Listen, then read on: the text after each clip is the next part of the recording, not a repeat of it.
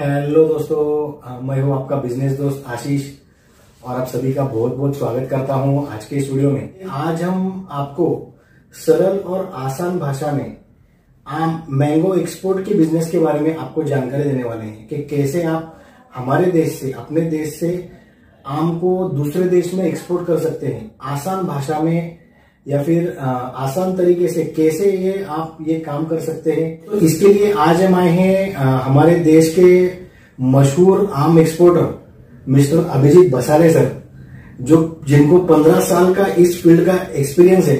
इनके फर्म का नाम है रेनबो इंटरनेशनल तो सर आपका बहुत बहुत स्वागत है। नमस्कार। शुक्रिया। थैंक यू हमारे इस वीडियो में। तो आशीष जी सबसे पहले मैं आपका शुक्रगुजार हूँ कि आपने इस विषय को सिलेक्ट किया और आप ऑल दी वे हमारे पास आए। आज की तारीख में हम कई सारे fresh fruits and vegetables and other items आज एक्सपोर्ट कर रहे हैं, जिसमें ग्रेप्स अंगूर है अनार है पॉमिग्रेनेट हम लोग संतरा, किन्नू और किशमिश जो रेजिंस होते हैं, ये भी एक्सपोर्ट कर रहे हैं। तो ओवरऑल मैं आपको बताऊँगा कि ओवरऑल एक्सपोर्ट के ऊपर किस तरीके से आपको बिज़नेस चालू करना है। क्या क्या आपको हर्डल्स आ सकती है? तो मेरा खुद का एक्सपीरियंस है। वो मैं आपको एक्सपीरियंस शेयर करूँगा। तो सर कौन से कौन से आम हमारे देश से एक्सपोर्ट हो सकते हैं? ऐसा है कि हमारे देश में कुल मिला के कुछ सिक्सटी एट रजिस्टर्ड वराइटीज है। जो मेजरली एक्सपोर्टेड वराइटीज है उसमें से वो तीन एकदम सबसे ज़्यादा मेजरली एक्सपोर्टेड वराइटीज है जिसमें एक आता है अपना अल्फांसो यानी हापुस। एक केसर अच्छा। और तीसरा बदामी या बैंगन पल्ली जिसको बोलते हैं साउथ इंडिया का आम है वो लार्जली एक्सपोर्टेड वरायटी है। और नॉर्थ इंडिया में जिसको यूपी बेल्ट में लंगड़ा चौसा दशहरी अच्छा। फजली ये वराइटीज में अच्छे खासे पैमाने पे एक्सपोर्ट हो रही है। एक्सपोर्ट मतलब सबसे पहले लाइसेंस का डर लगता है। तो सर जनरली एक्सपोर्ट फ्रूट्स या फिर आम एक्सपोर्ट करना है तो क्या क्या लाइसेंसेस लगते हैं? तो इसमें सबसे पहला जो लाइसेंस है आपको कोई भी चीज़ एक्सपोर्ट करने के लिए एक D G F T director general of foreign trade अच्छा। ये अथॉरिटी है। इस अथॉरिटी से आपको इम्पोर्ट एक्सपोर्ट कोड आईईसी ये मिल जाती है। अच्छा। तो ये मिलने के लिए आपको बेसिक प्री रिक्विजिट्स क्या है? आपके पास एक शॉप एक्ट होना ज़रूरी है एक बैंक अकाउंट होना ज़रूरी है। आज की तारीख में आपका एक जीएसटी सर्टिफिकेट उसके बेसिस पे आपको इम्पोर्ट एक्सपोर्ट कोड मिल जाता है। एग्रीकल्चर एक्सपोर्ट करने के लिए आपके पास एक एनपीपीओ मतलब नेशनल प्लांट प्रोटेक्शन ऑर्गेनाइजेशन इनका एक रजिस्ट्रेशन होना ज़रूरी होता है क्योंकि इनसे आपको एक फाइटो सैनिटरी सर्टिफिकेट के लिए जैसे बंदा कोई भी आप अपने देश से किसी और देश में जा रहा है तो उसके पास क्या क्या होना ज़रूरी है? एक तो आपके पास पासपोर्ट होना ज़रूरी है दूसरा आपके पास वीज़ा होना ज़रूरी है ठीक है? तो पासपोर्ट हो गया आपका इम्पोर्ट एक्सपोर्ट कोड और वीज़ा वो होता है जो फाइटो सैनिटरी सर्टिफिकेट फिर तीसरा आता है अपनी एक ट्रेड प्रमोशन अथॉरिटी है जिसका नाम है अपेडा जो एग्रीकल्चर ट्रेड का प्रमोशन करती है। अच्छा। तो ये तीन आ, मेरे हिसाब से जो है बेसिक प्री रिक्विजिट्स है जो आपके पास है तो फिर आप एक्सपोर्ट चालू कर सकते हैं। ये लाइसेंस निकलने के लिए क्या मतलब किसी एजेंट के थ्रू जाना पड़ता है या खुद आ, वैसे तो आजकल ये प्रोसेस बिल्कुल ऑनलाइन हो गई है। वाइज इसके एजेंट्स भी होते हैं अच्छा। बट मेरे ख्याल से आज ऑनलाइन होने के बाद में उतना कुछ ज़रूरत रहा नहीं है कि आप कोई एजेंट के थ्रू जाए। और सर लगभग कितना खर्चा आता है ये सभी लाइसेंस निकालने के लिए? लगभग अपेडा का आपका फाइव थाउज़ेंड रुपीज़ का लाइसेंस मिलता है आपको पाँच साल का। एनपीपीओ का भी पाँच हज़ार और इसका भी मेरे ख्याल से पाँच हज़ार ही होगा। तो लगभग पंद्रह से बीस हज़ार रुपये इसका ऑफिशियल खर्चा है। पर अगर आप एजेंट लगाए तो उसमें आप और पाँच दस पंद्रह हज़ार रुपये खर्चा जोड़ना पड़ेगा। मेरे से कोई एक्सपोर्ट करना चाहता है हम्म। तो सर शुरू में ग्राहक देखने के लिए आम का या फिर हम्म। किसी भी फल का सर क्या तरीका है? ग्राहक कैसे ढूंढ सकते हैं? क्या किसी देश में जाके ढूंढना पड़ता है या यहाँ से हम ग्राहक ढूंढ सकते हैं? ऐसा होता है कि जैसा मैंने आपको कहा था कि अपनी जो ट्रेड प्रमोशन अथॉरिटी है ये खुद अपने आप में मतलब ट्रेड प्रमोशन के लिए काफ़ी हेल्प करते हैं। तो आपको इनके संपर्क में रहना पड़ता है। इनका एक कैलेंडर होता है कि सालाना ये दुनिया के मतलब जो मशहूर पंद्रह से बीस एग्जीबिशंस है इसमें अपेडा खुद पार्टिसिपेट करती है। और अपना एक पैवेलियन रहता है गवर्नमेंट ऑफ़ इंडिया का अपेडा के तहत। उसके अंडर आप अपना एक बूथ ले सकते हैं। इसमें क्या होता है कि दुनिया भर से काफ़ी सीरियस बायर्स आते हैं अच्छा। आपके पास। फिर वो सीरियस बायर्स के साथ में आप डायरेक्टली इंटरेक्ट कर सकते हो आपको सीधा बायर वहाँ पे मिलेगा देखने को रूबरू उनको आप अपना प्राइसिंग बताएँ आप मार्केट में थोड़ा सा उनका क्रेडेंशियल्स चेक करें और अगर मतलब सब कुछ ठीक है तो आप बिल्कुल आगे बढ़ सकते हैं मतलब जो मुझे लगता है मतलब हम्म। जो मैं सोच रहा था कि जैसे ऑनलाइन अगर हम कोई इम्पोर्टर दूसरे देश में ढूंढ के हम्म। अगर उनसे अगर हम कांटेक्ट करके हम्म। अगर जैसे फ्रूट सप्लाई एक्सपोर्ट करना चाहते हैं तो क्या वो तरीका यूज़ कर सकते हैं? क्या ऑनलाइन में जो आज की तारीख में इंडिया मार्ट वगैरह आपके काफ़ी B to B trade companies है वेबसाइट्स है तो उनसे भी आप कर सकते हैं। भी ये भी एक तरीका हो सकता है। पर इसमें एक रिस्क ये हो जाता है कि आ, सामने वाले कंपनी का जो क्रेडेंशियल है अच्छा। वो आपको मतलब जब तक आप देखें नहीं जब तक आप परखें नहीं तो आपको पता नहीं है। और इस बिज़नेस में ऐसा है कि this is a credit oriented business और आपको पता चला कि ये तो डिफ़ॉल्टर है। तो अब ऐसे वक्त पे आप क्या करोगे? अच्छा। आपने तो ऑनलाइन देख लिया उसने आपका मतलब सारे आपके टर्म्स वगैरह फिक्स हो गए। फिर आप प्रॉब्लम में आ जाते तो उसकी वजह से आपको किसी भी ट्रेड में काम करने से पहले आपको ये पूरा जानकारी होना चाहिए उसका मार्केट में नाम कैसा है? सर अभी जैसा आपने कहा कि यूएस और यूरोप में आम वगैरह जाता है। हम्म। तो सर ये ज़्यादातर आम जो है ये बाय फ़्लाइट से जाता है? बाय फ़्लाइट से जाता है ये। अच्छा। जी। और लगभग सर कम से कम मतलब ये आम कितने क्वांटिटी में भेजना पड़ता है फ़्लाइट से? आ, ऐसा होता है कि एक फ़्लाइट में आपको एक कंटेनर होता है मतलब एयरलाइन कंटेनर होता है। Which is the smallest that you can send एक एयरलाइन कंटेनर जो होता है वो 1200 किलो का होता है तो आपको 1200 किलो आम आप लोएस्ट uh, क्वांटिटी आप शिप कर सकते हो और फिर उसमें एक एयरलाइन पैलेट आता है अच्छा। वो एयरलाइन पैलेट जो होता है वो तीन टन का होता है तो आप अच्छा। तीन टन तक आप भेज सकते हो एक यूनिट में मैक्सिमम अच्छा। फिर आपको इसी के मल्टीपल में मतलब दो पैलेट तीन पैलेट चार पैलेट ऐसा करके आपको स्लॉट्स एयरलाइन में बुक करना पड़ता है। मिनिमम कम से कम 1200 किलो आम जी। भेजना पड़ता है। ऐसा भी होता है कि कुछ डेस्टिनेशन पे डायरेक्ट फ्लाइट्स जाती है अच्छा। तो वो लूज कार्गो भी लेते हैं। मतलब बिना कंटेनर के आप लूज भी माल दे सकते हो। तो ऐसे जो एयरलाइंस होते हैं वो आपको टू फिफ्टी के जी प्लस ऐसा भी रेट दे देते हैं। तो आप ढाई सौ किलो भी भेज सकते हो। तो यूजुअली क्या होता है कि वो रेट्स जो होते हैं थोड़े एक्सपेंसिव हो जाते हैं। अच्छा। और कंटेनर रेट या पैलेट रेट जो होता है वो सस्ता पड़ता है। पर हमेशा कभी भी सैम्पलिंग करते वक्त या कोई ट्रायल शिपमेंट करनी हो तो ये छोटा ट्रायल शिपमेंट करना कभी भी ज़्यादा बेहतर होता है। तो जिसमें आप एक ट्रायल कर सकते हो सामने वाले को भी बायर को भी अंदाज़ा आता है कि आपका क्वालिटी कैसा है किस तरीके से आपका माल आने वाला है। आ, सर अभी एक्सपोर्ट मतलब जैसे ऐसा लगता है कि एक्सपोर्ट के लिए बहुत बढ़िया क्वालिटी के आम लगते हैं हम्म। तो सर जैसे कोई एक्सपोर्ट करना चाहता है हम्म। तो मतलब कौन से टाइप का बगीचा या फिर कौन सा आम वो एक्सपोर्ट कर सकता है सबसे पहली बात है कोई भी कंट्री को एक्सपोर्ट करने के लिए उसका पेस्ट फ्री माल हो मतलब कोई भी उसमें कीड़ा ना हो अच्छा। क्योंकि जो हमारी नेशनल प्लांट प्रोटेक्शन अथॉरिटी है वो हमें ये सर्टिफाई करके दे रही है कि आवर प्रोडक्ट और our produce is free from pest कोई भी कीड़ा, कोई जीव जंतु इसके अंदर मौजूद नहीं है। ये आपको सर्टिफाई करके दे रही है। तो इसमें ये बहुत ज़रूरी है कि आप ये इंश्योर करें कि आपके प्रोडक्ट में कोई भी कीड़ा जीव जंतु बैक्टीरियल इन्फेक्शन ऐसा कुछ नहीं है। तो ये सबसे फ़र्स्ट मैंडेटरी थिंग है। फिर दूसरी चीज़ आती है कि उसका मतलब कमर्शियल अपियरेंस जो है उसके ऊपर स्कार्स ना हो, कोई दाग ना हो। साइज़ में भी वो अच्छा हो। फिर आप जो एक बॉक्स में जो मैंगो भर रहे हो उसको सजा रहे हो उसको वो आइडेंटिकल हो मतलब एक छोटा एक बड़ा इस तरीके का ग्रेडिंग ना हो ग्रेडिंग ठीक से हो जाए। तो ये अगर आप पूरा फॉलो करते हो you are done up with most of the prerequisites of the specific country इस तरीके और ये पेस्ट फ्री कैसे कर सकते हैं?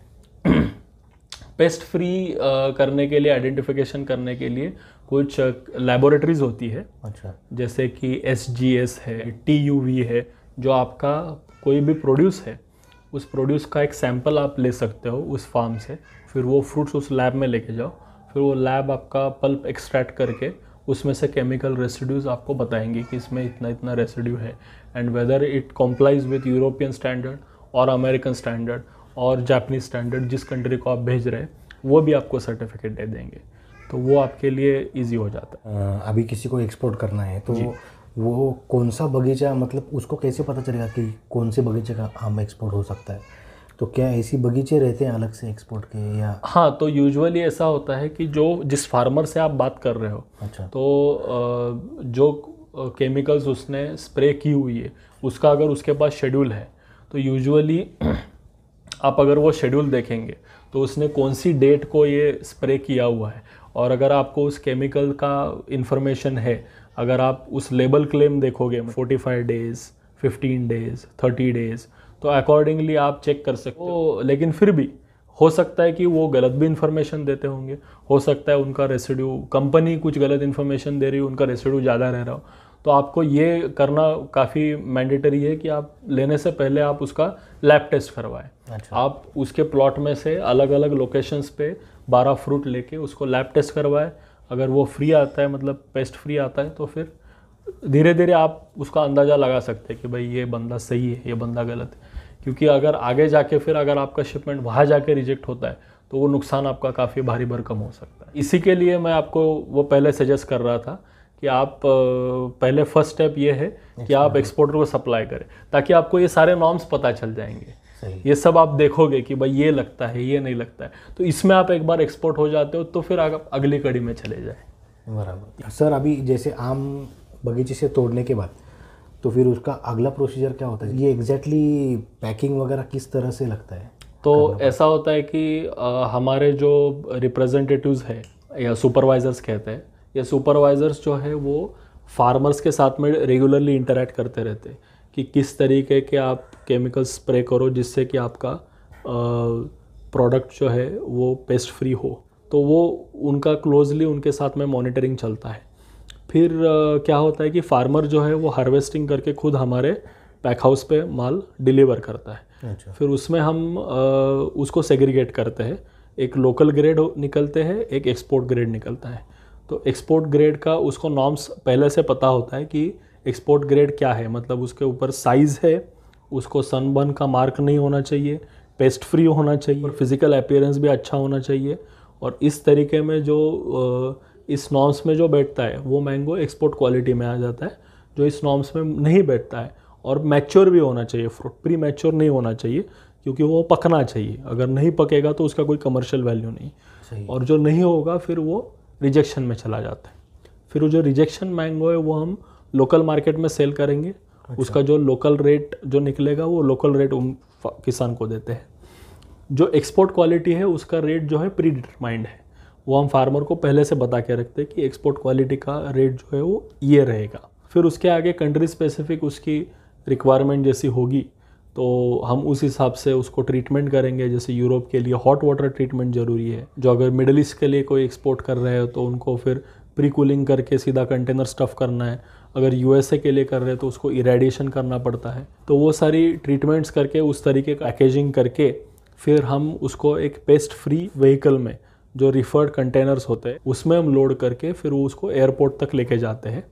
और फिर वहाँ से वो एक्सपोर्ट के कंटेनर में लोड होके फ़्लाइट में चढ़ के वो जाएगा। ज़्यादातर अभी आम के एक्सपोर्ट में जैसा आपने कहा कि बाय एयर जाता है पेमेंट जो होता है ये कौन से कौन से मोड ज़्यादातर चलते हैं? ये तो बैंक में टीटी से ही मोस्टली काम होता है। मतलब? आ, मतलब ये टेलीग्राफिक ट्रांसफ़र होता है। अच्छा। तो इसमें या तो मतलब दो ही टर्म्स चलती है कि या तो एडवांस पेमेंट या तो partial advance partial against delivery इस तरीके से अपने काम चलते हैं। इसमें सर एडवांस अभी जैसे कोई नया शुरू करता है तो उसको एडवांस वगैरह मिल सकता है? आ, ये तो बहुत ही मुश्किल बात होती है कि कोई नए शुरू करने वाले को कोई एडवांस दे दे। तो ऐसा होता है कि ये सामने वाले की ज़रूरत पे डिपेंड करता है अच्छा। कि यूजुअली एडवांस वो डिमांड कर सकता है जो ऑलरेडी एस्टेब्लिश प्लेयर है हम्म। और कोई नया इम्पोर्टर उससे माल खरीदना चाहता है अच्छा। तो वो एडवांस डिमांड कर सकता है और अगर जैसे मान के चलो एडवांस नहीं मिलता है हम्म। तो सबसे दूसरा अच्छा तरीका कौन सा है सबसे बेस्ट तरीका एक और एक चीज़ होता है जिसको कहते हैं ECGC export credit guarantee corporation इसको आप अप्रोच कर सकते हो। ये गवर्नमेंट ऑफ़ इंडिया अंडरटेकिंग है। इसमें आपको क्रेडिट इंश्योरेंस मिलता है। फॉर एग्ज़ाम्पल आप यूके में एक्सपोर्ट कर रहे हो और वो क्रेडिट मांग रहे हैं।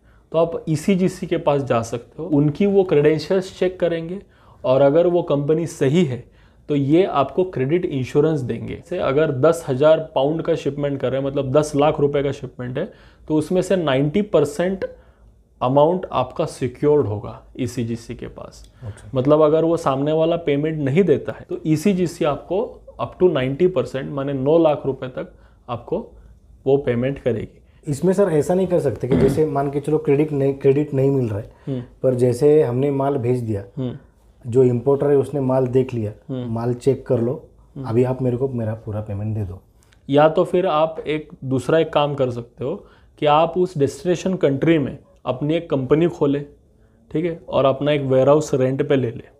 फिर आप क्या कर सकते हो कि उस कंट्री में जब आपका माल जाएगा एक वहाँ पे बंदा होगा तो वो आपका क्लियरेंस करेगा। Then your company becomes owner of that shipment और फिर आप सामने वाले को बोले कि वो माल देख ले और पेमेंट कर ले। अच्छा। हाँ लेकिन फिर ये थोड़ा सा काफ़ी एक्सपेंसिव अफेयर है कि आप फॉरेन कंट्री में जाके उधर अपना एक ऑफ़िस खोल रहे हैं तो यू आर बिकमिंग मल्टीनेशनल तो आपको उसमें भी टैक्स इम्प्लीकेशन उस कंट्री के नॉर्म्स ये सारी चीज़ें आपको उसमें वो करनी पड़ेगी। तो इसलिए आपको सबसे बेस्ट तरीका होता है एडवांस पेमेंट अगर एडवांस नहीं मिल रहा है तो आप जाके ई e करो ई e से भी आपका मतलब सेटिस्फेक्शन नहीं हो रहा है तो आप खुद जाके देखो। कस्टमर का क्रेडेंशियल्स चेक करो। कोई नया शुरुआती करना चाहता है ये बिज़नेस हम्म। तो सर कम से कम कितना पैसा होना चाहिए? कम से कम। अब ये तो बहुत रिलेटिव होता है कि उसको बिज़नेस कितना करना है। उसके ऊपर वो डिपेंड करेगा कि कितना पैसा होना ज़रूरी है। वैसा तो आपको एक करोड़ रुपये भी बहुत कम है और पाँच लाख रुपये भी बहुत ज़्यादा है। पर आप ये देखिए कि अगर एक शिपमेंट आप भेज रहे हो तो एक कंटेनर भी भेज रहे हो तो एक कंटेनर का प्राइस हो सकता है से फॉर एग्जांपल जो एयरलाइन कंटेनर है हम्म। उसका प्राइस आपका हो सकता है छः से सात लाख रुपये आप उससे आप शुरू कर सकते हैं। अच्छा। छः सात लाख रुपये आप फंड आप लेकर के एक शिपमेंट कर सकते हैं। अगर वो सक्सेसफुल रहा तो दूसरा करो तीसरा करो। अकॉर्डिंगली आप उसको आगे ले जा सकते हैं। तो छः सात लाख में एक कंटेनर मतलब बारह सौ किलो का जो आप एक शिपमेंट हो। सकता है लगभग। छः सात लाख में। हम्म। सर इसमें आ, किसान को जो पैसा देना पड़ता है ये किलो के ऊपर से ही आम परचेस करना पड़ता है? जी बिल्कुल। तो अपना ये जो सब चलता है ये सब किलो के ऊपर ही चलता है। जी बिल्कुल। आ, सर मैंने देखा था यो आम जो होते हैं जैसे अल्फांसो का मैंने देखा था ये आम जो है उसके डंडी के साथ ये तोड़ते हैं। जी। तो ऐसा क्यों करते हैं उसको? नहीं क्योंकि हर मैंगो के अंदर एक लैटेक्स होता है। वो सफ़ेद जो जिसको दूध कहेंगे या या सैप कहते हैं। अच्छा। तो that is the protecting notch of the mango और जो भी एंजाइम्स है बाहर से उसको शुगर में कन्वर्ट करने का भी काम करता है। जो मैंगो पकेगा तो वो उसकी वजह से पकता है। तो वो दंडी के बिल्कुल ऊपरी हिस्से में होता है। अगर उसको काट देंगे तो वो स्पिल आउट हो जाएगा। तो आपने वो देखा होगा कच्चे आम को अगर एकदम नज़दीक से तोड़ेंगे तो वो स्पिल आउट होता है वो सैप और अगर वो सैप आता है तो वो एक तो इट्स अ केमिकल तो वो अपना निशान छोड़ेगा जब वो पकेगा आम। मतलब वो आम की सेफ्टी के लिए और वो, वो बहुत होना बहुत लेकिन छोटा रहे रहे ज़्यादा बड़ा ना रहे। हाँ छोटा ही होना चाहिए। हाँ। हमारे देश का जो आम है कौन से कौन से देश में ये एक्सपोर्ट हो सकता है या फिर ऐसे कौन से देश है जहाँ पे एक्सपोर्ट नहीं हो सकता? ऐसा है कि इंडियन मैंगो जो है वो एक स्पेसिफिक फ्लेवर है। अच्छा। वो फ्लेवर जो अपना इंडियन सबकॉन्टिनेंटल लोग हैं अच्छा। उनकी टेस्ट बर्ड्स को वो ज़्यादा प्रभावित करता है अच्छा। या वो ज़्यादा खाना पसंद करेंगे। तो इंडियन सबकॉन्टिनेंटल कंट्रीज़ क्या है? तो इंडिया है इंडिया नेपाल बांग्लादेश पाकिस्तान श्रीलंका और मिडिल ईस्टर्न कंट्रीज़ जो है जो इस्लामिक स्टेट्स है। दुबई। तो ये लोग सबसे ज़्यादा ये मैंगो अपना इंडियन मैंगो खाना पसंद करते हैं। अब उसके साथ ही साथ जो यूरोप और यूएस में जो डिमांड है वो उन्हीं लोगों की है जो यहाँ के सब कॉन्टिनेंटल लोग वहाँ जाके बैठे अच्छा।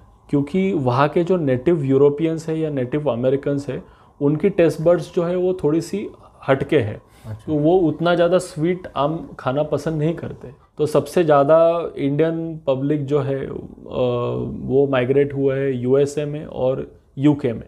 अच्छा। तो वहाँ पे उसकी बहुत ज़्यादा खपत होती है।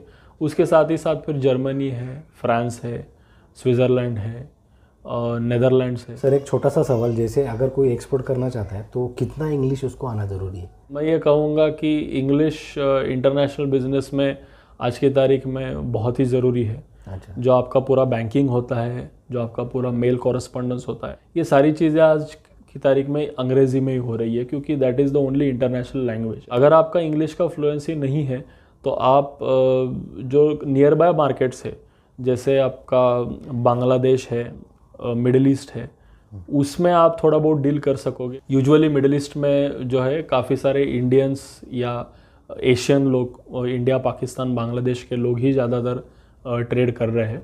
तो आप उनके साथ में आप हिंदी में बात करके कर सकते हैं। सर अगर कोई यूरोप में या फिर यूएस में आम एक्सपोर्ट करता है तो लगभग सर कितना परसेंट प्रॉफिट मिलता है इसमें? हम मैं अपना एक्सपीरियंस बताऊँगा कि हम कोशिश करते हैं कि कुछ 10 परसेंट तक प्रॉफिट हम रखें उसमें। जब भी हम अपना कॉस्टिंग करते हैं। इसमें क्या होता है कि जब हम कोशिश करते हैं दस परसेंट प्रॉफिट रखें तो उसमें कोई एक ऐसे इंसिडेंटल एक्सपेंसेस सीज़न के एंड में हमें समझ में आते हैं कि जो हमने कंसिडर नहीं किए। तो वो लगभग दो परसेंट या two and half percent three percent तक वो एक्सपेंडिचर हमें पता चलता है कि ये एक्सपेंसेस ज़्यादा हुए लगता है ट्रांसपोर्टेशन में हमने कुछ थोड़ा कम गिन लिया। फिर ऐसा लगता है लेबर कॉस्टिंग में भी हमारा थोड़ा कम गिनती हुआ था, वो थोड़ा बढ़ गया। अकॉर्डिंगली ये खर्चे बढ़ते हैं, कम होते हैं। दूसरा ये होता है कि जब आप कोई भी माल बेचते हैं स्पेशली पेरिशेबल में आप जब काम कर रहे हो तो उसमें पिल्फरेजेस आते हैं। होता हो सकता है कि आप जब एक हज़ार बॉक्सेस भेज रहे हो सामने वाली पार्टी तो कुछ बॉक्सेस उसको डैमेज कंडीशन में मिले। हो सकता है पाँच बॉक्सेस डैमेज हो गए या दो तीन बॉक्सेस सैम्पलिंग में निकाल लिए, चार पाँच बॉक्सेस आपके स्टोलन हो गए या कहीं पे मिसिंग है तो ये भी चीज़ें होती है। तो आइडियलिस्टिकली जब ये सब हम लोग मीट करते हैं तो हम ये देखते हैं कि हमारा फोर टू फाइव परसेंट तक हमारा प्रॉफिट मार्जिन आता है एंड ऑफ़ द ईयर जी। बराबर। मतलब लगभग सात लाख रुपए का कंसाइनमेंट होता है तो लगभग तीस पैंतीस हज़ार रुपये उसमें मिलते हैं। मिल तो हम कोशिश करते हैं कि सत्तर हज़ार मिले। जब हम सत्तर की कोशिश करते हैं तो हमें तीस पैंतीस हज़ार रुपये मिलता है। अगर कोशिश ही पैंतीस की करेगी तो शायद हमें कुछ नहीं मिलेगा। कुछ नहीं मिलेगा। आपके पास ये सर्टिफिकेट्स वगैरह आपने लगाए? जी। ये एग्जैक्टली कौन से कौन से सर्टिफिकेट्स आशीष जी ये जो है आ, मैं आपको दिखाना चाहूँगा। ये हमारा ब्रांड है एम्बो जो हमारा मैंगो का ब्रांड है अच्छा। जो हमने यूनाइटेड स्टेट्स ऑफ़ अमेरिका में रजिस्टर करके रखा हुआ है। वी आर प्राउड टू से कि हमारा ब्रांड जो है अमेरिका में रजिस्टर्ड है।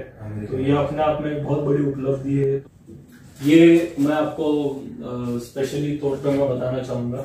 कि अमेरिका के एक्स प्रेसिडेंट अच्छा। जो पूर्व राष्ट्रपति थे अच्छा। श्री जॉर्ज बुश हाँ। जिन्होंने इंडियन मैंगोज को 2007 में पहला एक्सेस दिया था अमेरिका में अच्छा तो ये उनको हमने एज ए ग्रेटिट्यूड 2018 में कुछ मैंगोज भेजे थे। तो उसका उन्होंने हमें एक काफ़ी अच्छा पुख्ता ये गिफ्ट दिया है हमें अच्छा थोड़ा व्यूअर्स को भी दिखाना चाहेंगे जी ये उन्होंने हमें लेटर दिया है लेटर ऑफ़ अप्रिसिएशन जिसमें उन्होंने काफ़ी सराहा है हमारे मैंगोज को। अच्छा। तो ये हमारे लिए एक किसी बड़े सर्टिफिकेट से नीचे नहीं है ये। तो ये बहुत बड़ी चीज़ है इसलिए बहुत बड़ी अचीवमेंट है। बिल्कुल। और जो हमारे मैं कहूँगा कि इंस्पिरेशन सोर्स है अच्छा। जो पूरे महाराष्ट्र के या पूरे हिंदुस्तान के इंस्पिरेशन सोर्स है वो श्री छत्रपति शिवाजी महाराज है। जिनका हम आ, मतलब जिनकी तरफ़ देख के हमें ऊर्जा मिलती है हमें स्फूर्ति मिलती है तो ये सारी जो चीज़ें हैं ये हमने इनके साथ में लगा के रखी है सजा के रखी है ताकि हमें वो इंस्पिरेशन देते रहे। सर आपका बहुत बहुत धन्यवाद लोगों को इतना डिटेल में बताने के लिए। दोस्तों अगर आपको ये वीडियो पसंद आई है तो इस वीडियो को लाइक और शेयर कीजिए हमारे इस यूट्यूब चैनल को सब्सक्राइब कीजिए। मिलते हैं अगले वीडियो में एक नए बिज़नेस आइडिया के साथ। तब तक के लिए गुड बाय दोस्तों एंड टेक केयर